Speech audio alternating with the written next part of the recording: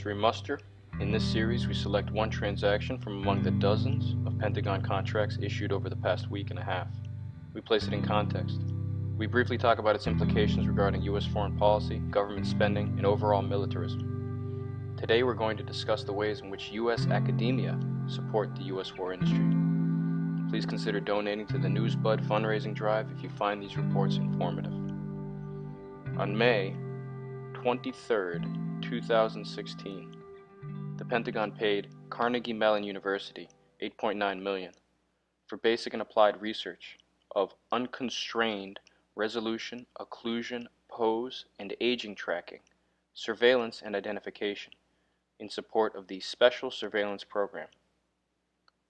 According to the contract announcement, this research will provide next generation algorithms and cutting edge fundamental research to solve the aforementioned difficult scientific problems that are typically encountered during aerial and biometric surveillance. Work will take place in Pennsylvania, Michigan, California, and West Virginia. Please check the information section below because it contains more details regarding each university and the contracts involved. So many universities support the U.S. military. Some of these universities include UC Berkeley, which works on DARPA computing. DARPA is the Defense Advanced Research Projects Agency. The University of Alabama, which works on medical research, clinical trials, missile components, and advanced technologies. Carnegie Mellon University operates the Software Engineering Institute in Pittsburgh, Pennsylvania. It works on classified software development, including biometric tracking and surveillance.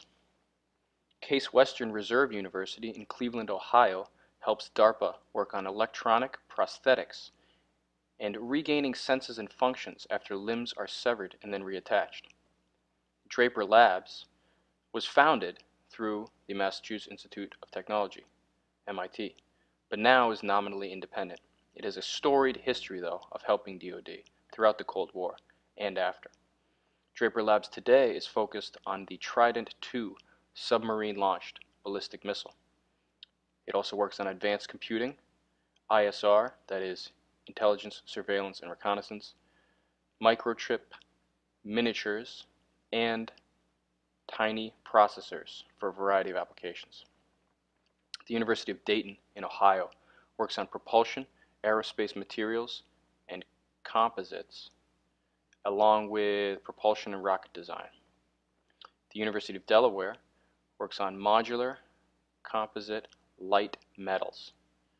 Georgia Tech works on research and development regarding electronic warfare, radar, rocket design, jet propulsion, cyber and information technology, IT. The University of Hawaii works within the Maui High Performance Computing Center which contains some of the most powerful and fastest computers in the world.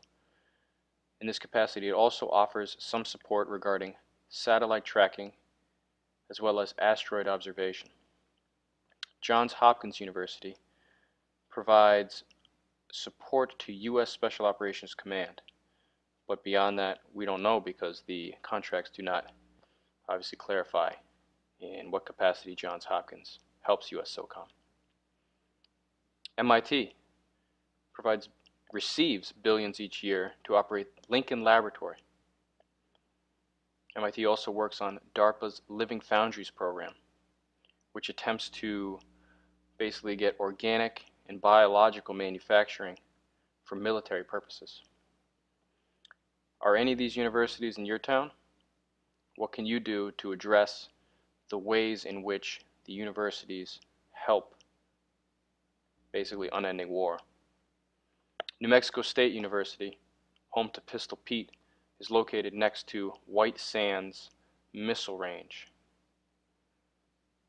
There are a variety of ways in which New Mexico State University helps the Department of Defense, but its primary objective lately, as of July, July 27, 2015, is to support the Information Operations Vulnerability Survivability Assessment Program, IOVSA. IOVSA is basically how the Department of Defense, it's the methodology that they came up with to evaluate information technology systems. UPenn, the University of Pennsylvania, works on language comprehension and ways for the average soldier, sailor, airman, and marine to understand random, quote, low research, low resource languages. RAND is a think tank based in Santa Monica, California. It helps the Pentagon with long-term strategic support, studies, helps the Joint Chiefs and the Secretary of Defense to analyze where to go, what to do. Research Triangle Park is a grouping of Duke, NC State, and UNC.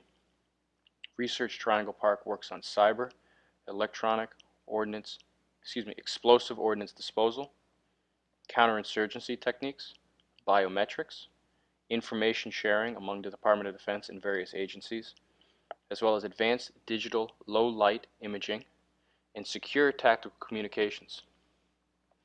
Utah State works on ISR, that is intelligence, surveillance, reconnaissance, image processing, sensors, and data analysis. USC, University of Southern California, works on bringing data together and making sense of it for the Department of Defense. Many of its contracts with the DoD are opaque. They don't really tell us much about what they're doing. DARPA microprocessing is another area that the USC that USC is involved in. The University of Washington works on submarines signals, data recording, and sonar work. Woods Hole Oceanographic Institution of Cape Cod, Massachusetts, has uh, basically partnered with the Department of Defense to work on persistent littoral underseas surveillance. Uh, it works on sonar and a variety of acoustic measuring capabilities work is in Woods Hole, Massachusetts, but also in Newport, Rhode Island, in Andros Island in the Bahamas, Groton, Connecticut, San Diego, California, Kings Bay, Georgia, Bangor, Washington. These are basically areas where the U.S. Uh, Pentagon, the submarine program, is located. Groton, San Diego, Kings Bay, Georgia, Bangor, Washington. These are major submarine bases. Wright State University works on how drones otherwise known as unmanned aerial vehicles, interact with human import, imp, input and without human input. Wright State also works on ISR and how drones exploit sensors that are operating on the ground. We'll stop there for this week. We've been discussing how U.S. academia supports the U.S. war industry.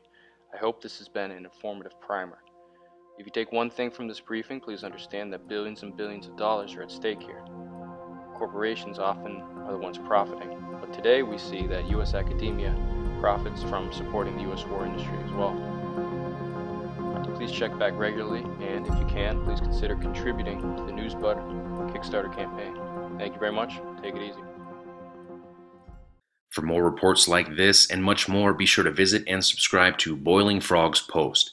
Here you will find our monthly exclusive report on the Department of Defense spending from our military industrial complex watchdog, the host of the War Industry Muster. This exclusive report covers the military industrial complex like no one else out there. In the month of May alone, the Department of Defense spent nearly $16 billion on 237 individual contracts. Now, this does not include 17 foreign military sales contracts worth nearly $1.5 billion. Just to give you an example of the detail in this report, as you can see here, in the month of May alone, Lockheed Martin received $331.7 million to provide Israel, Finland, Jordan, and Singapore with everything from guided multiple launch rocket systems to uh, unitary rocket pods, you name it. Just to show you how these corporations and governments are profiteering off war. One bid was solicited, one bid received. Be sure to visit our Kickstarter campaign and pledge your support for Newsbud, a truly one of a kind, 100% people funded media outlet. We will receive zero financial support or any support from any corporation, foundation, or NGO, and we will be advertisement free. This means that we are 100% no strings attached, held accountable only by you, the people, our supporters. For those of you that have pledged your support, Thank you very much. You can always increase your pledge at any time before the campaign expires. For those of you that have not pledged your support yet, you still have time. We're down to the last two weeks. I strongly encourage you to pledge your support today. Newsbud, where media integrity matters.